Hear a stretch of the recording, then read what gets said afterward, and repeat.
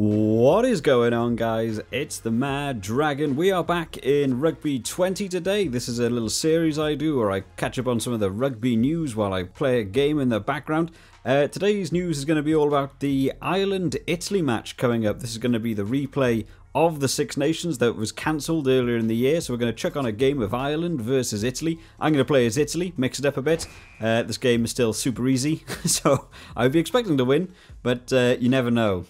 Alright, let's get this game underway. So, first of all, if you guys have checked out my other video of who will win the Six Nations, if you haven't, go check that video out. It's basically me breaking down how I think the, the system's going to work for this game that's starting up from this Six Nations again, who I think's going to win. I've got a big belief it's going to be between England or Ireland, and I think Ireland are in with a good shout. Um, so I've had a look at the teams today. Teams got released earlier this week. Uh, Ireland did theirs on Wednesday, and I think Italy did theirs yesterday it came out. So I've got the teams up in front of me here so I can have a quick look at them. So I'll chuck on screen this Ireland team. Now, Ireland, if you look in my other video, I definitely recommend going and watch that because you might understand a little bit more about this that I won't go into huge breakdown. But Ireland are going to be looking for huge point scoring in this game. They basically need to beat Italy by more than England are going to beat Italy uh, next week, which I know for all those Italy fans, they're going to believe they, they, they could still win. They won't. I don't think England are going to let a Six Nations go by being beaten by Italy. And I know Ireland are going to want to push as hard as they can to put themselves in with the best chance of being able to win that Six Nations by doing even better. So let's have a look at this Ireland team.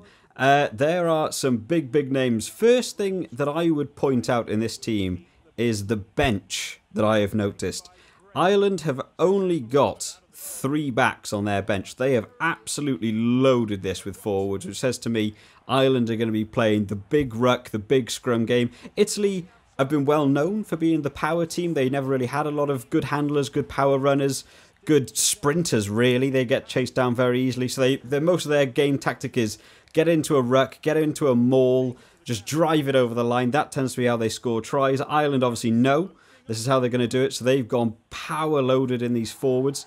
Um, five forwards. They're going to be replacing a lot of that starting eight um, throughout the match. Maybe 40 minutes, 50 minutes, 60 minutes. They're just going to keep that team fresh. Really try and break down that Italian scrum. Um, the back line is again huge. Uh, the first point of note is going to be Hugo Keenan, who's going to be starting on the left wing, which is a nice break for him. He gets to get into that international jersey. A jersey, by the way, which looks spectacular. Uh, I haven't been able to do a breakdown of that. This come around too quickly, but I am liking the look of the uh, the Ireland jersey. Looking very, very nice. But Hugo Keenan gets to start on left wing, which means that Jacob Stockdale has moved to fullback at 15. Uh, they're obviously giving this lad a shout. I don't know how long he will stay on the pitch for. Uh, they do have uh, Robbie Henshaw on the bench, who I believe either plays centre or he also plays fullback. He's quite sort of in and out. So I've got a feeling that Hugo Keenan might play the first half, and then they might move Jacob Stockdale back to his left wing and chuck Robbie Henshaw on at fullback, or they might just try and keep Keenan in through the whole game and just take Stockdale off for Henshaw. Um, but the backline for Ireland's going to be really interesting. They have the big hitters. You've got your Conor Murrays, your Johnny Sextons, Bundee Aki, Garry Ringrose, Andrew Conway. This is the the team we have seen for the longest time in Ireland. They know this works. They play a fast game. Um, Jordan Larmour, not actually sure what's happened to Jordan Larmour. Um, he, he's sort of gone off the picture. I don't know if he's got an injury at the minute, but um, Stockdale at fullback, he knows how to play fullback. He will have a good game. So looking at the Ireland backs on the bench, which will be an interesting talking point. So another new name for me, anyway, maybe not for some of you guys, but for me definitely, uh, Jamison Gibson-Park who used to play in New Zealand. He is. Uh, he's been ruled that he's allowed to play for Ireland. I'm not sure if that's uh, Irish heritage or because he currently plays in Ireland now. Uh, but I do believe he was born in New Zealand. Um, but looks like a strong lad, very, very fit lad. Plays at scrum half.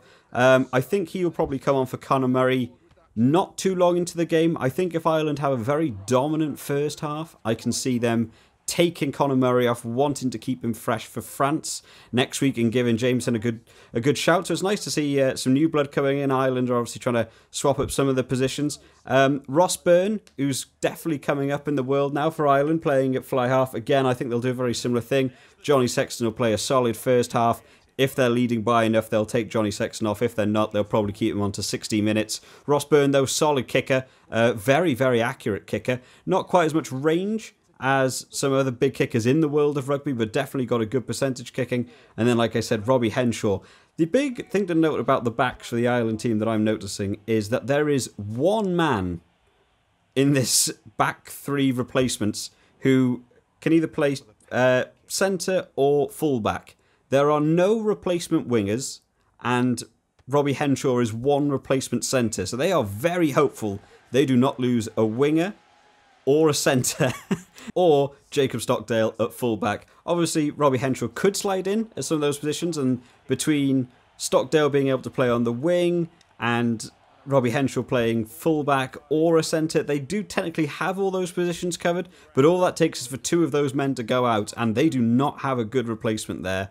Um, it would probably have to see the replacement scrum half maybe move on to the wing, which I don't know if he's comfortable with. Uh, it could mean maybe putting Robbie Henshaw on the wing if needed. I don't know how that'll work out for them. They're playing a big game. If they've gone very forward dominant, they're probably going to try and nick a few tries from the backs, but ultimately are going to play a big forwards game. Um, I think that could come back to bite them. Uh, if they end up losing players in the back row or take a couple of injuries or people getting yellow carded, there are no replacements in that in that back line. So they've obviously loaded the front. They want to play the power game. That's how they're going to go for tries. But overall, a very strong looking Ireland team. Moving on to the Italy team. Uh, they come out with some big names for the, the Italian team again, of course, as they always seem to be in the uh, in the Six Nations, are going to be bottom of the the table pretty much no matter what. Really, um, I don't see them beating Ireland. I don't see them beating England, um, and they will end up where they usually are, down in six, which is a shame. They've played well this year, actually. Um, I think one of the big facets for them doing very well has been the drop of Sergio Parisse, who I know is a legend of the game, but to me has lost his touch over the last few years, and obviously he's now been sort of rendered out. Um, there's a couple of big names that are filling in those positions now. Sebastian Negri has done really well so far. Um, Braam Steyn is big, big uh, Jackler, big, big in turnovers, and then Jake Polledri, who's just like a rhino with the ball. he just charges through. That 6 7 8 is very, very strong, um, and they are keeping Italy afloat, really, especially in terms of defense and uh, being able to win the rucks. Um, their front three are uh, probably the least capped front three I've seen for quite a while. They still got quite a few caps in there, but obviously they lost a couple of big names in the last recent years. Castrogiovanni is no longer with them, um, and a couple of the locks. So there's a little bit less experience in that forward eight, but it's nice that they are trying out some of the new blood, some of the young boys, and they are showing off very nicely. Um, the back line for Italy, uh, it's actually looking relatively strong. Uh, Bellini, who did not have a good World Cup, for anyone who uh, knew that I was doing the Fantasy League for the World Cup, Bellini lost me a whole bunch of points. Uh, he played terrible in the World Cup, but in the Six Nations has done very well, uh, and I've been quite impressed with Bellini. Um, Padovani is actually quite a good standout player um, in this Italy team. Uh, he's one of those sort of names that you feel if he was in another team, he would probably flourish a little bit better, but he does seem to be a bit of a, lay, a lone man out there in the uh, on the wing. And then Jayden Hayward, who also very very good fullback, um, very very strong runner. He's probably one of the quickest fullbacks they've had in a long long time. Um, so going to be interesting to see how they get on there. Um, at number 10, they've had a change. I don't know what's happened to um, Tommaso Allan. Um, I don't know if he's injured. I haven't been following the Italian rugby overly closely, um, so I don't know what's going on in that world. Um, but they've got Paolo Garbisi.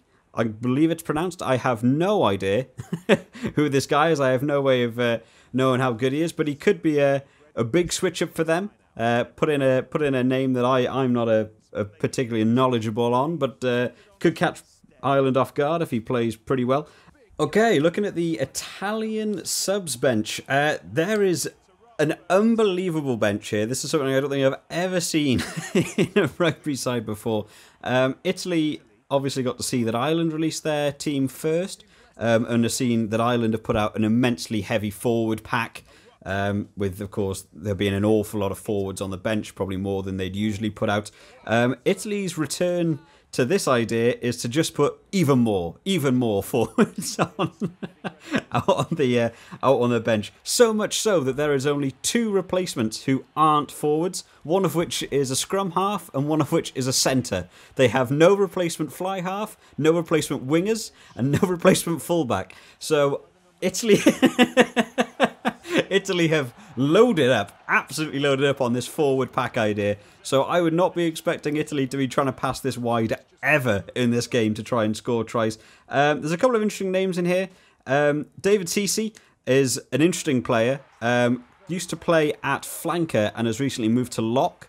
So there's a bit of versatility there that he can move to either position. Uh, Johan Meyer is um, another flanker who I believe can also play number eight. And then um, Maxime Mbanda, I believe it's pronounced. I'm not 100% sure on that one. Um, is another flanker who can also play number eight. So between four of their players, they've actually got four, five, six, seven, and eight covered at any given point. And then, of course, with the uh, the big boys up the front there to replace in that front row. Um, they are loading up on this, so I'm going to be expecting a lot of mauls, a lot of rucks, everything they ever call should be going to scrums. I'm just expecting Italy to uh, try and run rampant in that scrum area, but the Ireland scrum that's going to be coming out is going to be huge. Um, Callum Braley, uh, again, not another big name for me. Um, going to be probably coming on at scrum half later on in the game. Um, and then Federico Mori, again, apologies to any of my Italian viewers for uh, pronunciations of names. Um, centre, believe he can play inside centre. Don't believe he plays a lot of outside centre, uh, from what I've looked up in the past half hour before filming this video. Um, but yeah, Italy have played a very interesting game, going for no replacement backs. They obviously believe it's going to be a big forward game. Ireland, I think, are going to take this one. I think it's got to be an Ireland win here. I think they've got too strong of a backline with no one to be replaced in that Italian line. All that takes is a winger to be injured, the fullback to be injured, and they basically are just chucking people on out of position. I've got to believe Ireland are going to win this, and I think in order for them to want to win the Six Nations, they know they have to win this, and not just by a bit, they know they've got to win by a lot. Um, I would be expecting Ireland to front up with the big forwards, but I'd be expecting a lot of their tries coming down from the wings, um, maybe seeing John Sexton squeeze in a couple, um, and then using the uh, the new boys coming in. I'm pretty sure this uh, Jamison Gibson-Park's going to want to get his name out there, get in the replace of the uh, the Conor Murray position there. I don't see Conor Murray staying on for the full game anyway. Um, and let's hopefully see some of the Ireland bench players coming on. Uh, but that's just a quick rundown of the teams, guys. Uh, I'm going to put my call on this. I'm going to say Ireland to win this and heftily. Um, I think Ireland are going to win somewhere between 30 and 35 points, is going to be my guess at the game. Uh, you can drop down in the comments what you think the uh, the final score will be. I think this is going to be an Ireland domination. I think uh, Italy have gone too heavy with how many forwards they've put in and haven't left themselves enough versatility out on the wings. I think they're going to get just run round and kicked over the top and just sort of taken apart. I don't think they've gone down the correct channel here for playing Ireland. But let me know what you guys think in the comments. Are you looking forward to having the Six Nations back? Is it going to bring joy to your life to have some international rugby back on the scene? I can't wait for it. Uh, if you haven't checked out my other video of who you think will win the Six Nations video, definitely go check that out as well, where I break down a little bit more how Ireland are more likely to win this Six Nations than England. I had a really good time making that video, but I hope you've all enjoyed this video today, guys. I will see you next time. Bye bye.